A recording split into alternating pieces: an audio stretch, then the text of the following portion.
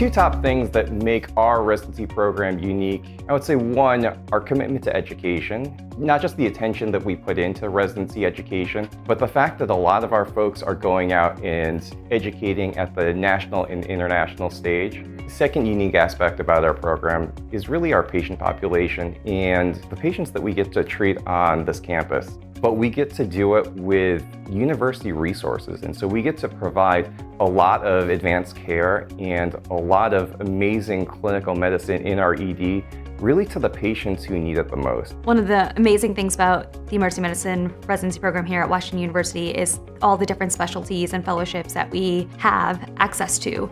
There's also what we call elective time. This is the time where everyone can use to kind of enhance things that they feel like they're not as strong in. The reason I picked St. Louis specifically was because when I came for my interview all the way from Lebanon, I realized that everyone here was so friendly and had that really nice family feel that made me feel really welcome from the beginning.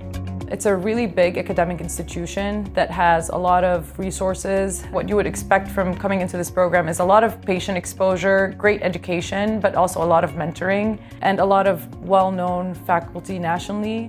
What we need to do in emergency medicine is consider the ways in which we are indispensable to the house of medicine and really leverage that indispensability that we have as uh, an acute care specialty that is always available for patients when they need them. First of all, I think we have a really phenomenal training platform for our residents. We have a very surprisingly diverse, unique patient population that I don't think a lot of people would expect to see coming from the Midwest. Because of that, we are able to give our residents a really amazing training experience, seeing a lot of high acuity, high volume patients.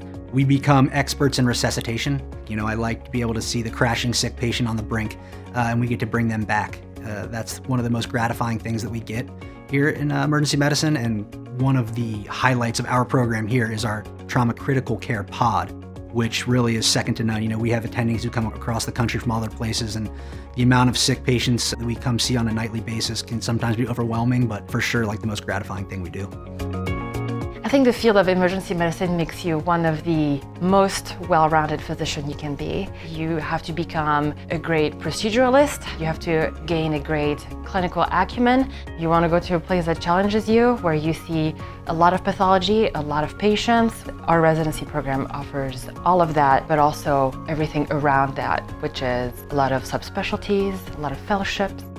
We're in a very affordable city. If I were to live in a bigger city doing my residency program, I probably would not be able to afford the things that I afford here. You can still go out to the nicest restaurants. You can live in a really nice apartment with a lot of amenities for less than half the price of what it would be in another city. Every part of the city has its own personality and culture around it. It's got delicious food, it's very affordable, easy to drive through, no traffic. Those little things make a big difference in your everyday life, and uh, St. Louis is just an easy, nice place to live. For me, what made the difference and what made me want to stay after residency was the fact that it was more than just being a part of an institution, that it really is being a part of a community. Our program was really founded on the idea of doing things a little differently and finding the ways that we can improve the healthcare system as a whole. And I think that that's something that every single person in this institution really feels passionately about is trying to find ways that we can always be doing better. Being surrounded by that kind of creative energy is really empowering and really rejuvenating.